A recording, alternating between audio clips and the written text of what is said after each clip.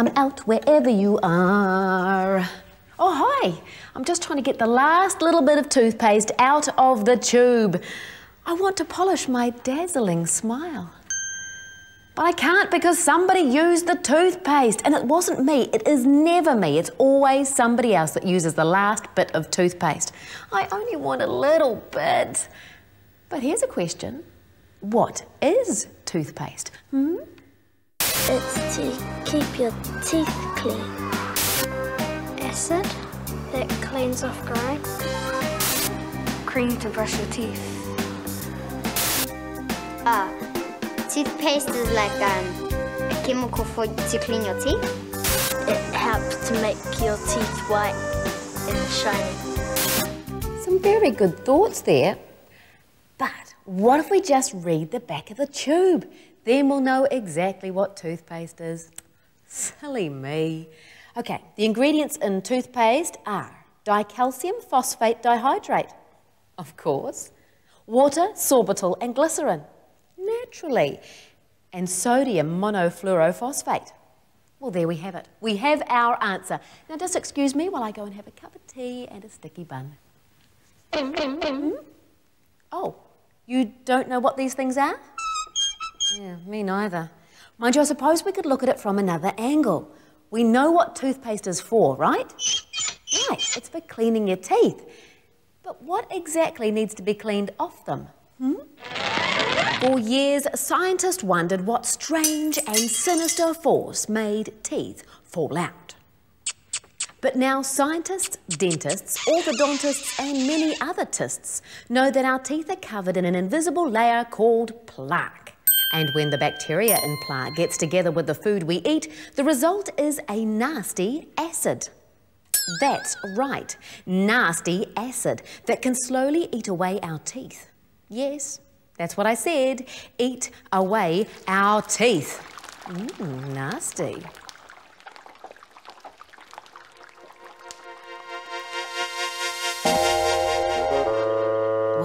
I've let lots of plaque build up on my teeth, see? Oh, oh, oh, oh, sorry about the whiffy breath, yeah. Kind of comes with plaque. But can you see all the plaque everywhere? No?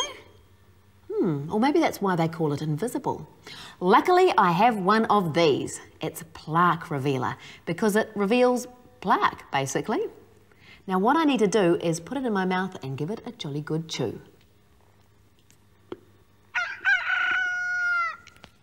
Okay, you ready to see that plaque? Here goes. Are you all right? It can't be that bad, surely. Ah, oh, oh, look at all the plaque. Oh, get it off. Oh. Have you seen those new car washes that don't have brushes? They just have high speed jets of water that blast the dirt off cars? Well, I figure that if jets of water will get the dirt off a whole car, then surely they'll get a little bit of plaque off a few little teeth. What do you reckon? Should we give it a go? Okay, let's try it. Um, maybe not tell somebody. Thank you. hey, what about one of these? The old window wipers window wiper. Mm, the only thing is, this is probably a little bit too big. Whoa, well, that's more like it. Now, if I only open wide and say, ah, well, you know, I like to get my teeth into the job, but this is ridiculous. Okay, hold still.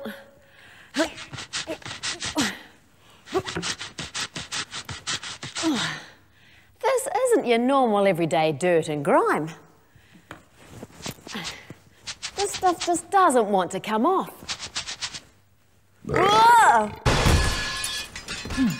Pardon. Oh, I see you've noticed the cleaning mixtures. Well, there are all kinds of cleaning products that you can use to clean around the house. But I tell you what, I'm not putting any of them near my mouth. They could cause all kinds of damage. But what does toothpaste have in it that can clean away plaque? That plaque seems to be stuck on pretty hard. G'day. What is the name? Working with wood is my game. Now, have a gander at this, would you?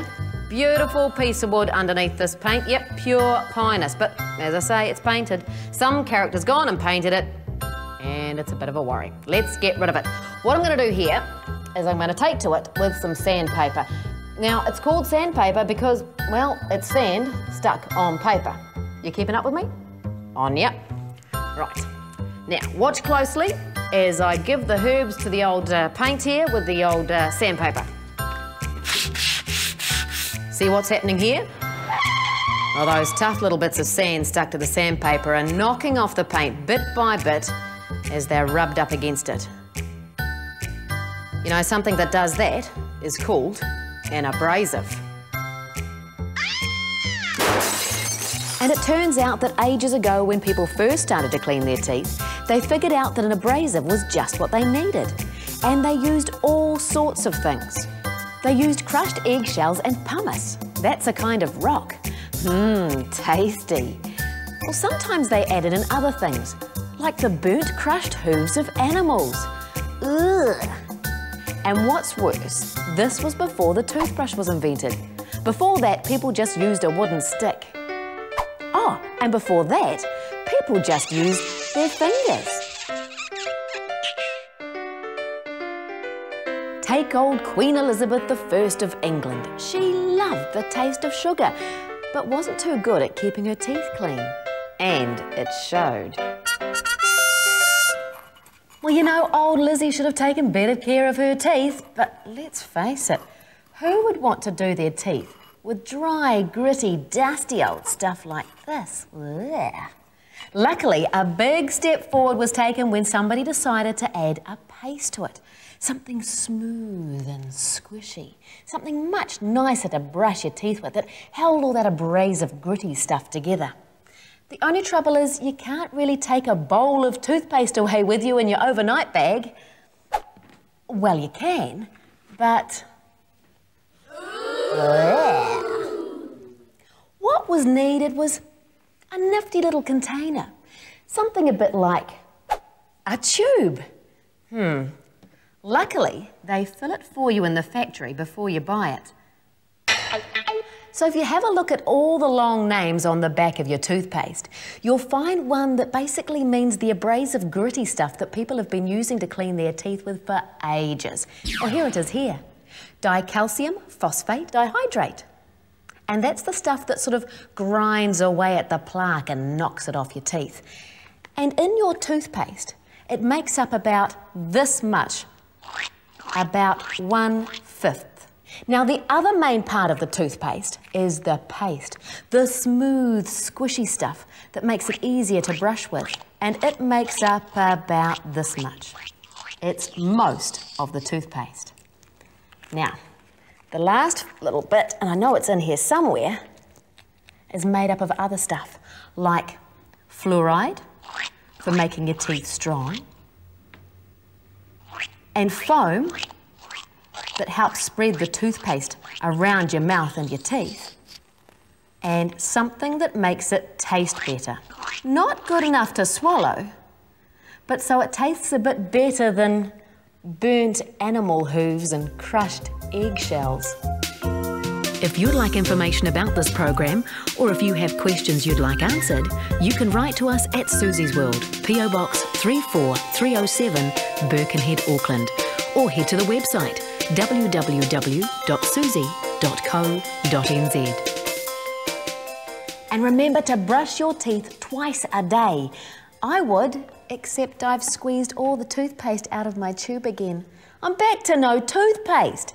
Hey, anyone got any crushed eggshells and burnt animal hooves? Just kidding. See you next time. Ka kite. G'day. Woody here. Would you like to do that again? Yeah, I would too. I'm inhaling fluff.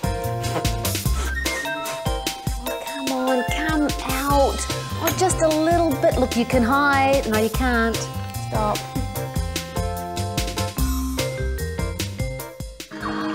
This program was brought to you by New Zealand On Air.